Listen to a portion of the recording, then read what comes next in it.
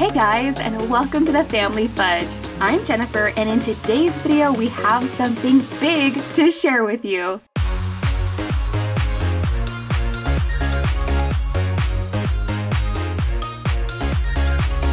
That's right, we finally did something we've been wanting to do for years, and that is to purchase a motorhome. Now, you guys, this motorhome is pretty old but I have big plans to fix it up and give it a huge makeover. Because I don't want this just to be an RV for my family, I really want this to be more of a tiny home on wheels. So I have a lot of work ahead of me. Now in today's video, I am gonna go ahead and share with you why we decided to start on this journey I'll share with you where we are planning to go this year. I'm going to show you all around the motorhome and I'm going to point out the things that I'm hoping to change. And I am going to show you a couple of the items I've been purchasing. These are definitely some space saving items that I'm hoping can help keep our motorhome nice and organized.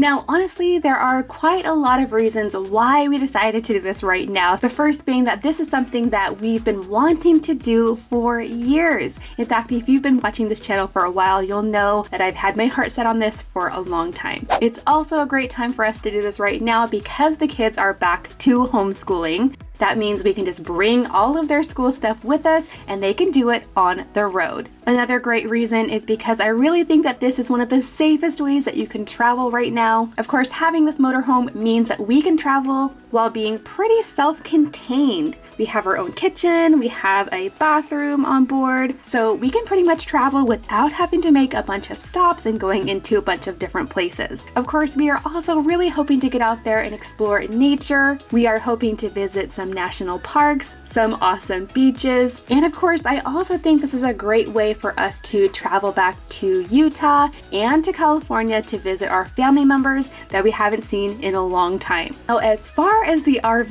itself, this is a 2005 Winnebago Itasca Spirit 24V, which basically means that this is about 16 years old and it's only about 24 feet long. This RV sleeps six people. It has a really nice kitchen. It has a pretty nice bathroom. And the RV itself is built onto a Ford E350 van. So this is really just like driving an oversized van. It's not a huge monstrosity of a vehicle. Now I know that that might seem a little bit small for a family of six, but that's actually what I really wanted. I wanted to go as small as possible because number one, we are not actually living in this full time. And number two, at the end of the day, this has everything that we absolutely need I really like that this is small enough that we can drive it easily in congested areas. It's small enough that I could drive it and not be intimidated. And of course, the smaller size means that we can fit this in smaller sized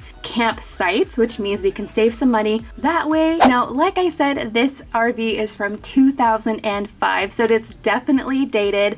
This is something that we searched quite a long time for on Facebook Marketplace and on Craigslist. We were looking for something that was pretty inexpensive, but we were also looking for something that would be reliable, and this definitely fits the bill. Even though this RV is pretty old, it's actually in a really good condition. There's no water damage, all of the electrical works, all of the plumbing works, and so do all of the appliances. This motorhome is technically road ready. We could just go on a trip right now. But like I said, I am hoping to change out quite a few things just to make this feel more like home. So now moving on to my renovation wish list, and I'm calling this a wish list because I know I'm not going to be able to do everything on this list. But the number one and number two things that I'd really like to do are first, paint all the cabinetry.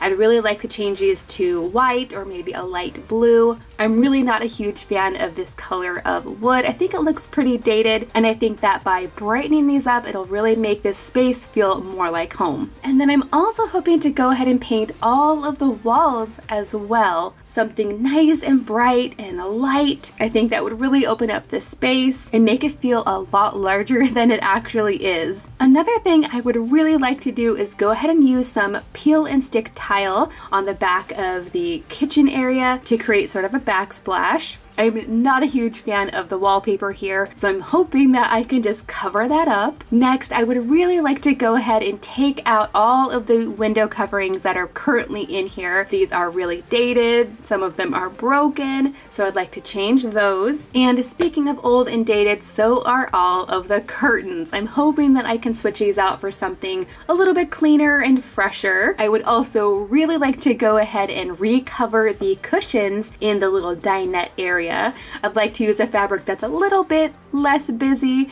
and I'd like to make the covers removable so I can take them off, wash them, and then put them back. And then last but not least, I think it would make a huge impact in here to go ahead and replace the flooring, but I know that that is going to be a huge project so I'm not quite sure when and if I will actually be able to do that. Now I would love to know your opinions in the comments down below.